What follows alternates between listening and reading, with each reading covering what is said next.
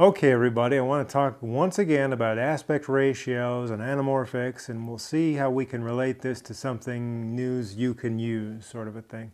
Let's talk about anamorphic video. And first I want to just review a little bit about uh, theatrical aspect ratios. Most of the movies that were shot during the 70s, 80s, 90s were shot with an aspect ratio of 1.85 to 1. This is very similar to the 16 by 9 aspect ratio of high definition television. In fact, if you simplify the equation, uh, the, the, well, the, the, ratio, 16 by 9, you get down to uh, 1.78 to 1. It's very close to 185. And so, um, you know, okay, let's just say this frame that you're watching right now is the uh, 16 by 9 or 1.78 to 1. Now, if I were to just put a little edge on here and down here to make it uh, a 1.85 to 1 picture, you'll see there's just a little bit of a border there uh, on the top and the bottom. That's awfully close. And so uh, it was determined that when you show uh, these 1.85 to 1 movies on television, you know, you're either going to have just a very slight border there, or maybe you'll just go ahead and open up the frame a little bit and just fill up the whole 16 by 9 frame. Um, so you may notice that on some of your movies. Uh, most of those movies that were shot in 185, there is a little bit of a margin there that can be opened up just a little bit on the top and bottom without an adverse effect. And so, uh, so it looks pretty good on your widescreen TV.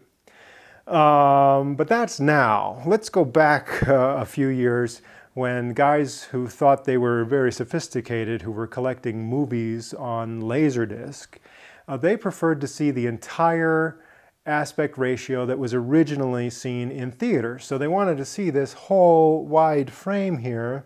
And um, when they watched it on television, their preferred method of, of, of seeing those movies on television was to go ahead and shrink it down so that it would fit on uh, their, their standard definition TVs and you see the full edge over here and on this side as well.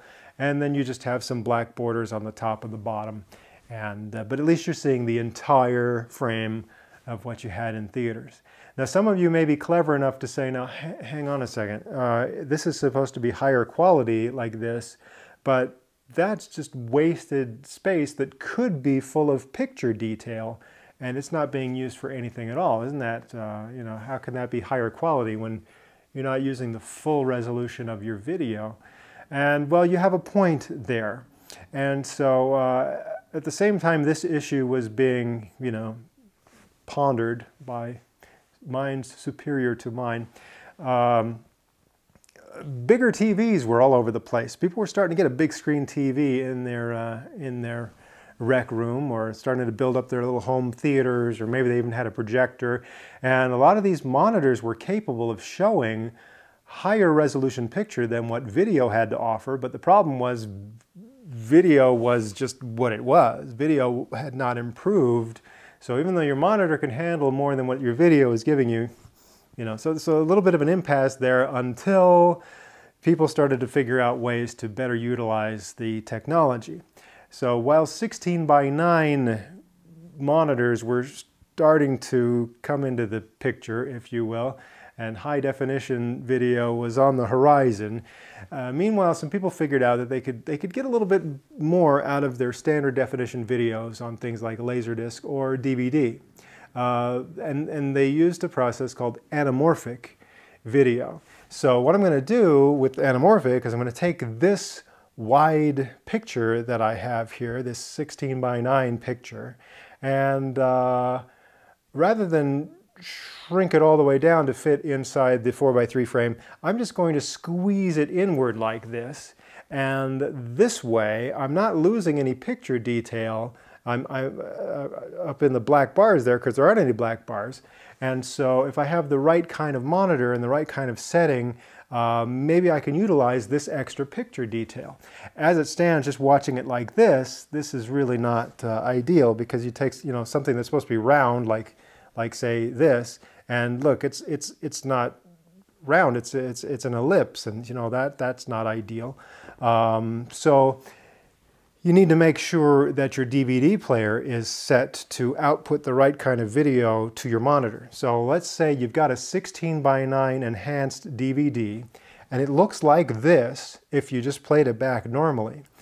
But if you've informed your DVD player when you're setting it up that, oh, by the way, I only have a standard definition old-fashioned 4x3 monitor, then the DVD player will automatically adjust the picture so that it looks okay on your monitor, and it'll be letterboxed on your monitor.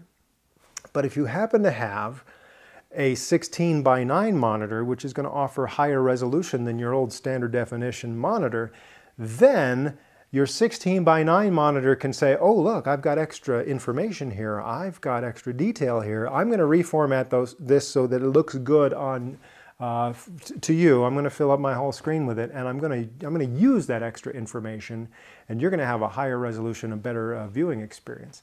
So that was the point of having anamorphic video. Um, it allows also, you know, some DVD players, if you've got an anamorphically enhanced uh, video and you're still thinking, I don't want to watch it letterboxed like this. I really, I don't like the black bars up there and down there. I just don't like it. Uh, then some of those DVD players will allow you to just have the pictures zoom in to fill up your whole screen. And it's still going to cut off the edges out here. But, uh, you know, so you can kind of have it both ways. If you prefer to just zoom in on the picture, you can set your DVD player to do that. If you prefer to uh, have a letterboxed picture, you could do that. And if you've got the proper 16 by 9 monitor, then you're going to see all that extra resolution and all that detail, and that's going to be fun for you too. So that's part of the magic of DVD. And also, if you happen to go out and buy a, uh, a digital TV converter box because you wanted to watch the new digital TV signals on your old analog 4x3 TV, there's a similar setup in your digital TV converter box asking you, okay, what kind of monitor do you have? Do you want the picture squeezed and let your monitor uh, figure out how to make it look right? Do you want it just zoomed in so that it fills up your whole old-fashioned 4x3 frame? Or would you like a widescreen high definition picture letterboxed so you can see the whole thing? You have that option, but it just it's a matter of setting it up correctly on, uh, on your system so that you're watching it correctly. Now, some people, uh, you know, when DVD players first came out, the default setting was to output a, a 16 by 9 enhanced picture. So if you just got a DVD player and plugged it in without doing any of the setup stuff and you put it on your regular 4x3 monitor, then suddenly everything looks like this and, and, and that's, not, that's not the best way to, to see things at all. And I think some people didn't realize that uh, you know, the, the, there was a setting to correct that. They just thought, well, all DVDs must look like that. So um, yeah, so make sure you, you got that set correctly. Uh, also, you know, just uh, as long as I'm still here, I got a, a, couple minutes. Let's let's just talk about some terminology. Um, letterbox.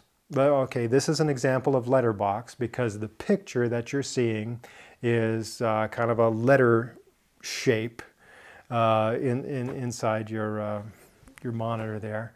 And uh, the black bars up there and down there, you know, that, that's what you got there, letterboxed. Now, if you happen to have a 16 by 9 television and you're watching uh, an older film or old TV shows that were shot for a 4 by 3 format, and uh, maybe the picture looks like this, um, so, you know, that's okay because if you're watching the Brady Bunch or I Love Lucy or, you know, what Charlie's Angel or whatever, whatever old show you happen to be watching, hey, you're, you're seeing the whole frame now. That's what it, that's what it looked like originally. And uh, you're not cutting anything off. And your 16 by 9 monitor can show you more than that, but there's nothing else to show. So you've got the black bars now here on the sides. And uh, that is called pillar boxed, by the way. All right, ran out of time here on uh, YouTube. So uh, next time, I'm just going to talk some more about 16 by 9 formats on video, including uh, how should you set your video camera for the videos you're making so that you'll get the highest quality and the right settings and the kind of picture you really prefer to produce on your video camera. So we'll talk about that next time, and uh, you have a great day.